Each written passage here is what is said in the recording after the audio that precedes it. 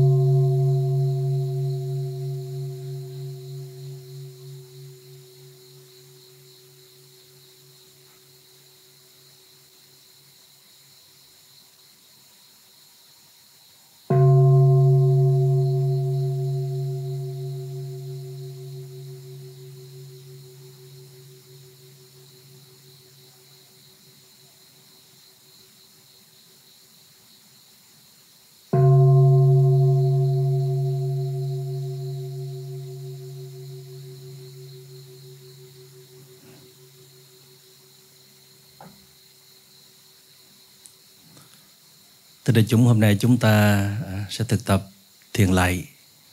À, thiền lạy là một cơ hội để chúng ta à, được à, quy phục, được quay trở về, kết nối sâu với à, năng lượng thuần khiết trong trẻo của trời đất bao la, của các vị thầy tâm linh, của những nguồn năng lượng thuần khiết mà chúng ta tôn kính và cũng là một cơ hội để chúng ta nhìn sâu vào con người của mình. Quý vị uh, có thể đến trước bàn phật nè hoặc là mình để tượng phật à, ảnh phật trước bàn. Trong một không gian à, à, thanh tịnh yên tĩnh. Còn nếu quý vị không có bàn phật không có tượng phật thì hoặc là quý vị theo những tôn giáo khác thì mình vẫn có thể đến à, với tôn tượng mà mình kính trọng mình hướng về.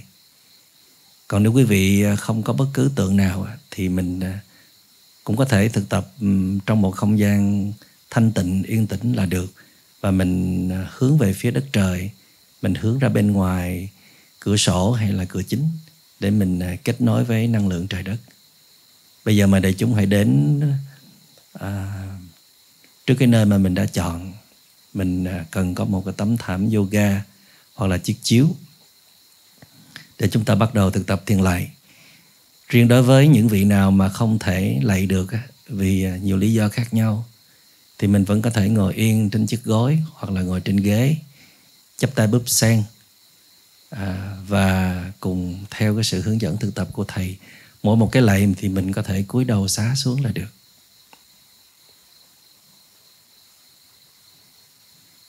Bây giờ mà đại chúng hãy à, vị nào đã có thể lay được rồi, sẵn sàng rồi thì hãy đứng yên đó, chắp tay búp sen. Và thầy sẽ hướng dẫn quý vị lạy luôn.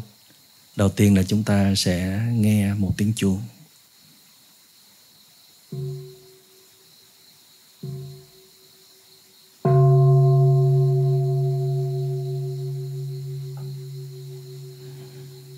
Mời quý vị hãy lạy xuống, chúng ta để tay búp sen trước ngực nè, chúng ta đưa lên trán. Rồi chúng ta bắt đầu là hạ hai đầu gối xuống. Quý vị nào chân không khỏe thì mình có thể chống tay xuống đất. Rồi sau đó chúng ta quỳ mọp xuống, đầu trán chúng ta chạm xuống đất, tức là chạm xuống sàn, xuống tấm thảm yoga. Và hai tay chúng ta để hai bên đầu ấp xuống và chúng ta sẽ hạ cái mông ngồi lên gối của mình và duỗi thẳng bàn chân ra sau đó chúng ta mới xòe lòng bàn tay lên nếu vị nào à, cảm thấy tư thế này mình không chịu nổi trong vòng 3-4 phút á, thì mình có thể nằm sắp xuống và duỗi thẳng hai tay ra theo kiểu lạy của người Tây Tạng và duỗi thẳng hai chân ra. Đây là cái lạy thứ nhất. Cái lệ này con xin hướng về nguồn sống vĩ đại bao la, đất trời, vũ trụ. Hướng về các đấng tối thượng, những vị đã giác ngộ các bậc hiền triết, những vị thầy tâm linh trong cuộc đời của con con xin thực tập quay về để buông bỏ xuống những định kiến đã đi vào cuộc đời con. Từ khi con mới chào đời, và nó đã đeo đuổi con đến tận bây giờ. Vì chính những định kiến này đã tạo nên những tri giác sai lầm, những nhận thức sai lầm, và chính những nhận thức sai lầm này đã đem đến cho con rất nhiều nỗi khổ niềm đau. con biết rằng con là sự kết nối của ông bà tổ tiên, là sự tiếp nối của nguồn sống vĩ đại từ bao nhiêu thế hệ phía trước, và gần nhất là cha mẹ của chúng con. Cho nên chúng con vừa tiếp thu rất nhiều gia tài quý báu, và đồng thời cũng tiếp thu rất nhiều những điều chưa thành công, chưa hoàn chỉnh vẫn còn gian dở, vẫn còn hạn chế. Trong đó có những tri giác, những nhận thức về bản chất của đời sống, về bản thân mình, về giá trị hạnh phúc chân thật, về tình thương yêu chân thật, về cách đối nhân xử thế. Và con là thế hệ được tiếp nối, đón nhận hết tất cả những kinh nghiệm sống, vốn sống, những cái nhìn, cái thấy, những tri giác của những thế hệ trước qua di truyền, qua lối sống tiếp xúc gần, tiếp xúc xa, trực tiếp hoặc gián tiếp. Để rồi à, con cũng là một tác phẩm của những thế hệ trước. Ngoài ra, con cũng là tác phẩm của cộng đồng và xã hội tác phẩm của trường học, của thầy cô giáo, của sách vở, của những tư tưởng, của những chủ thuyết, của những truyền thống đã hình thành nên những quan kiến, những quan niệm, những cái thấy, những tri giác ở trong con. Nó trở thành một phần của sự hiểu biết của trí khôn con. Thế nhưng có những tri giác thật sự là đúng đắn đã giúp đỡ cho con rất nhiều, đã giúp cho con tìm thấy con đường hạnh phúc, tìm thấy những giá trị chân thật, tìm thấy được chính mình.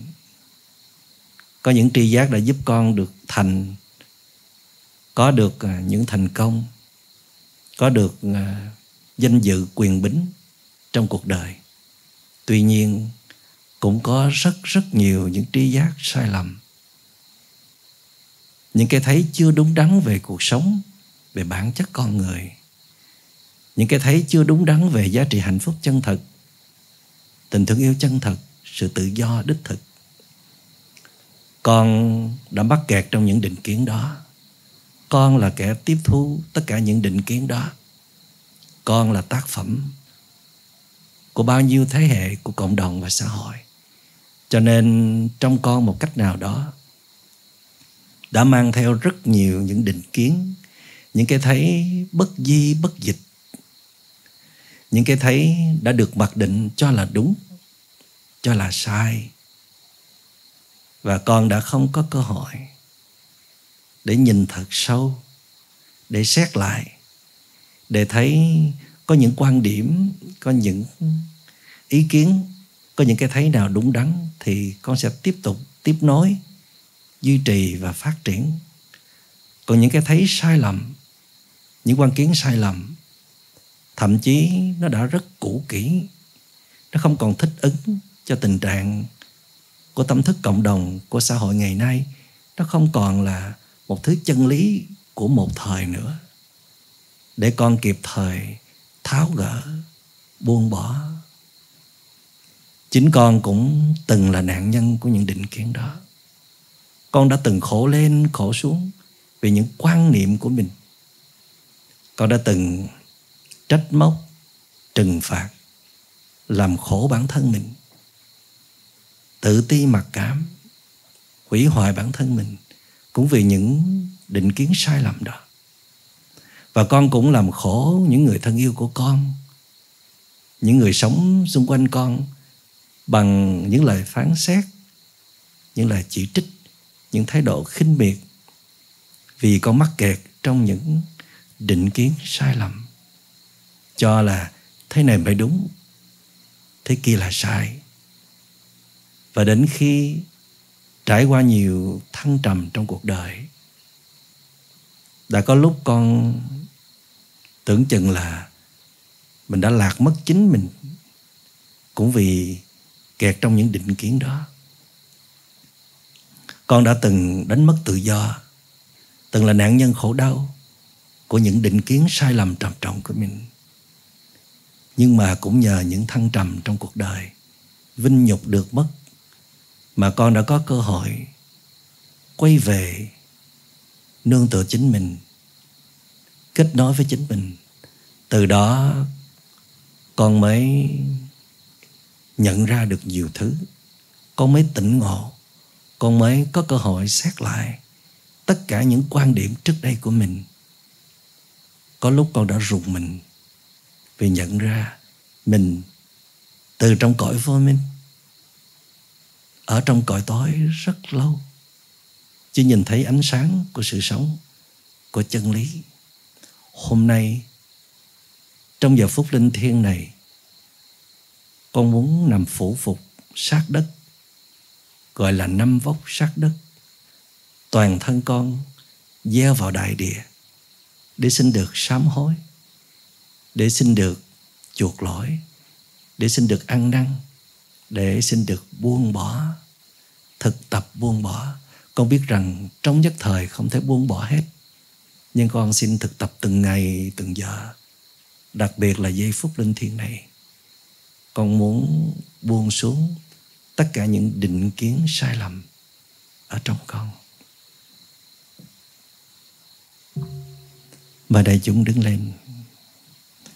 Từ từ chúng ta có thể chống tay cũng được. Và chúng ta chắp tay thẳng đứng, nghe một tiếng chuông.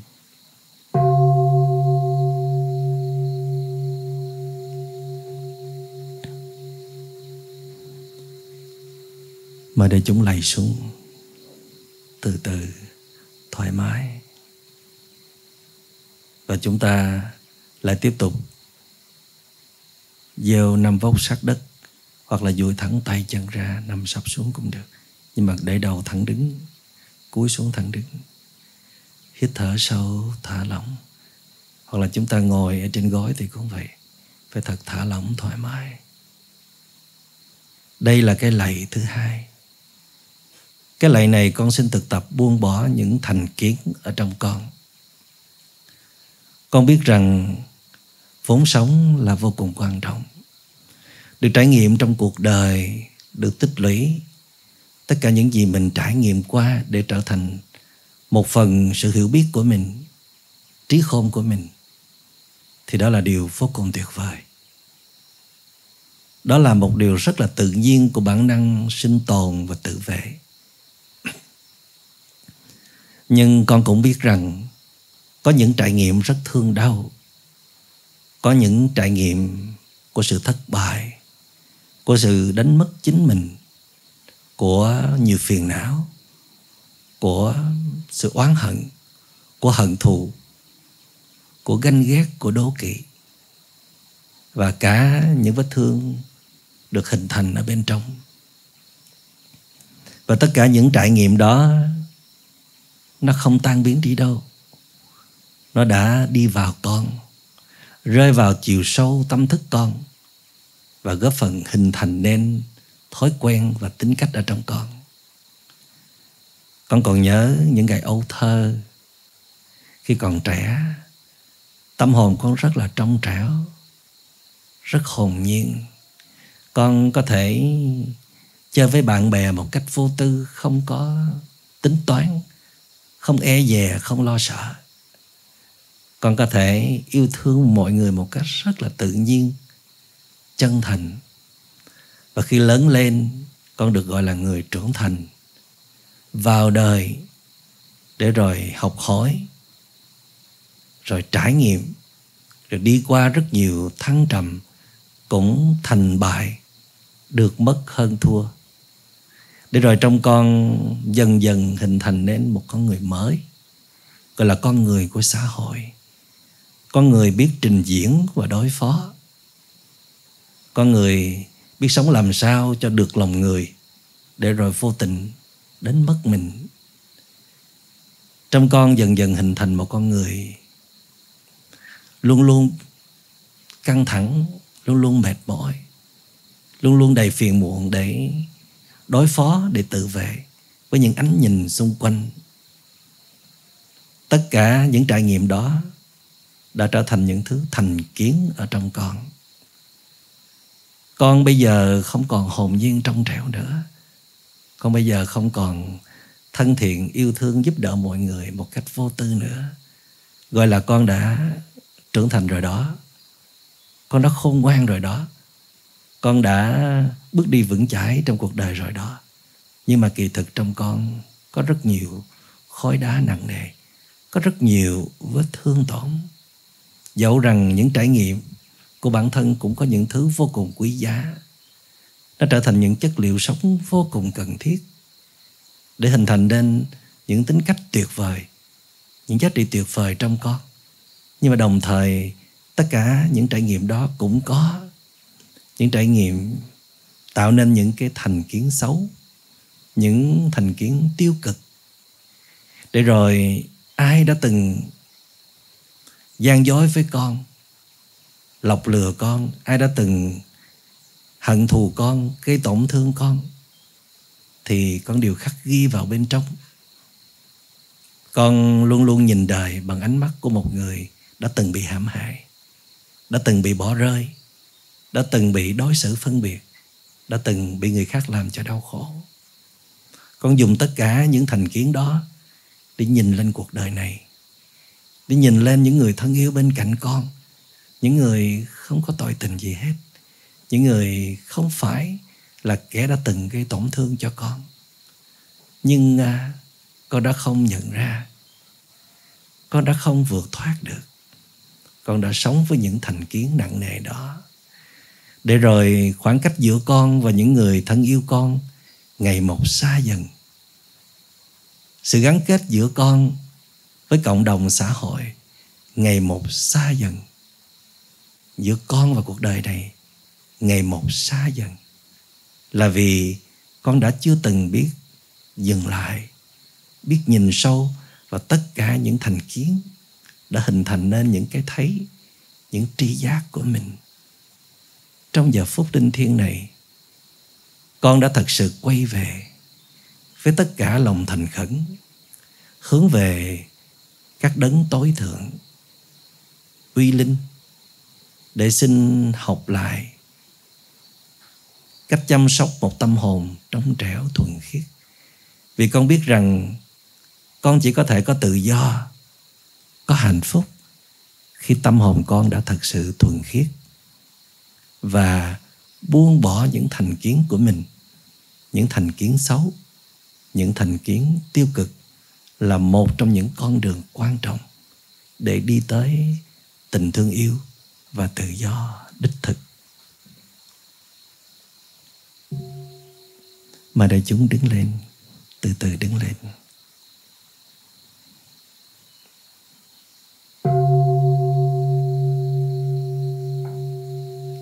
Mà đại chúng lạy xuống.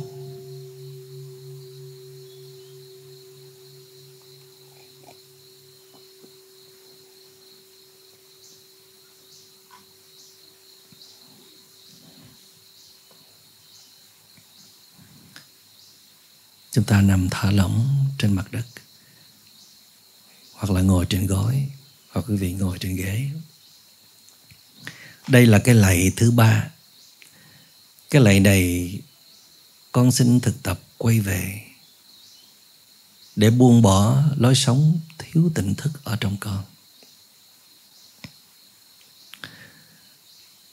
Con xin được quay về kết nối với bậc giác ngộ toàn vẹn như là Đức Phật. Các vị hiền triết, các vị thánh nhân đã từng có những tâm hồn cao thượng và giảng dạy trao truyền cho chúng con. Chúng con biết rằng trong sâu thẳm tâm hồn chúng con cũng có những hạt giống của một Đức Phật, có một đức từ bi và trí tuệ của các bậc thánh nhân. Con biết trong con có rất nhiều giá trị tốt đẹp. Nhưng mà vì đời sống quá quay cuồng, bận rộn. Con biết đây cũng là sự lựa chọn của con. Để rồi mỗi ngày con bị cuốn trôi theo dòng chảy của xã hội. Cuốn vào cơm áo gạo tiền. Cuốn vào con đường mưu sinh. Cuốn theo những ham muốn dư thừa không cần thiết. Để rồi khi những mong muốn của con không thực hiện được, thì con lại nổi sân, con chống trả, con đáp trả và con cứ lẫn quẩn giữa tham và sân giữa mong cầu và chống đối để rồi trong con hình thành rất nhiều những năng lượng tiêu cực những thói hư tật xấu con bây giờ không phải là con người của 5 năm, 10 năm trước nữa. Con bây giờ không phải là hay hơn, không phải là trưởng thành hơn. Tiếc thầy con bây giờ trở nên cằn cõi hơn, trở nên nhiều sân si hơn, thậm chí là đi tục lại. Con người đáng được trưởng thành của mình. Con thấy mình rất dễ phản ứng, rất dễ nhận xét đánh giá, phê phán kẻ khác. Con thấy năng lượng của mình cũng lên xuống thất thường lúc vui lúc buồn con là nạn nhân của dòng chảy cuộc sống, cũng là nạn nhân của chính sự chọn lựa thiếu sát suốt ở trong con. Con biết con đang sống trong một à, thời đại có rất nhiều sự biến động, có rất nhiều sự dịch chuyển thay đổi, khôn lường. Trong một à, giai đoạn kinh tế phát triển dữ dội, nền công nghệ lên ngôi, trí thông minh nhân tạo ra đời đã khiến cho tâm thức cộng đồng, tâm thức xã hội cũng biến động, dịch chuyển khôn lường. Con cũng là một phần ở trong đó. Để rồi con nhìn sáng chúng quanh thấy ai ai cũng bị cuốn vào các thiết bị điện tử, cuốn vào chiếc iphone, chiếc điện thoại thông minh của mình, để rồi bị chìm đắm ở trong đó. Mỗi ngày chúng con bị kích hoạt không biết bao nhiêu lần cảm xúc yêu và ghét, thích và không thích. Chọn lựa cái này, loại trừ cái kia. Để rồi chính những thiết bị điện tử đó, chính chiếc điện thoại thông minh đó, nó đã kiểm soát cuộc đời con. Nó đã thao túng tâm thức tâm thức của con. Nó khiến cho con trở nên à, bao mau suy cạn năng lượng. Để rồi từ đó con phản ứng rất là nhanh nhạy, dễ đưa ra lời phán xét buộc tội kẻ khác. Vì à, khi con tiếp xúc với mạng xã hội, con đi vào các ứng dụng mang lại cho con rất nhiều cảm xúc hấp dẫn. Thì trong con hình thành sự chọn lựa dễ dàng, chọn những thứ mình ưa thích và loại trừ những thứ mình không ưa thích, mình cho là dở, là tổn hại.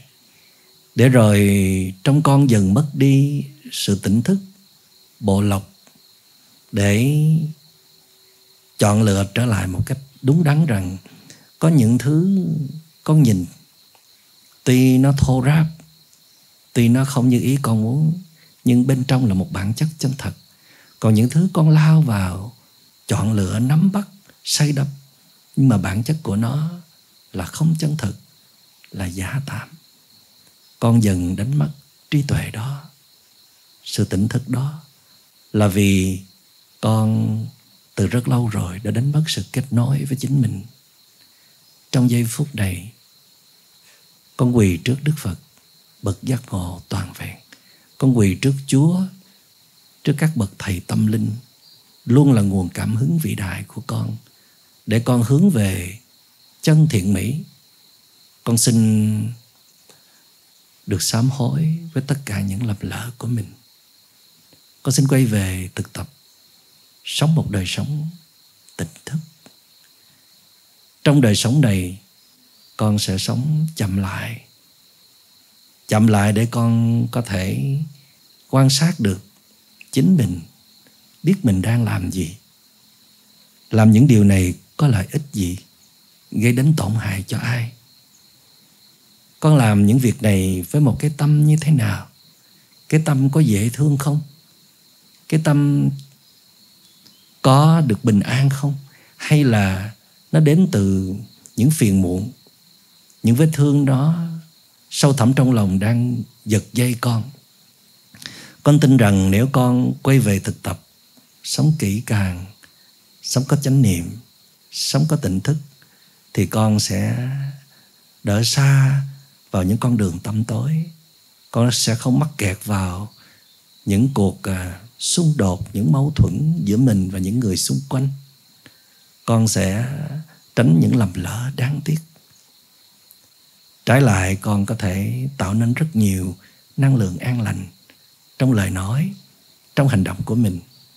Để rồi mỗi ngày con thấy mình có một đời sống rất đáng sống. Một đời sống mà trong đó, khi mình đi đến đâu, mình cũng có tình thương. Mình cũng nhận được năng lượng tích cực của mọi người tất cả đều từ nơi sự thực tập tỉnh thức của con.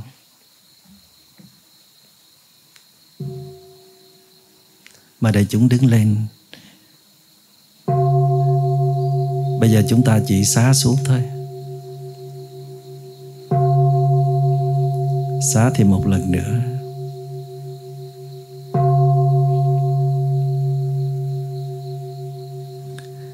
Thế để chúng, buổi thiền lạy tới đây là kết thúc. Hôm nay chúng ta thực tập ba cái lạy thôi. Bây giờ quý vị à, hãy trở về chỗ ngồi của mình Để chuẩn bị nghe Pháp thoại.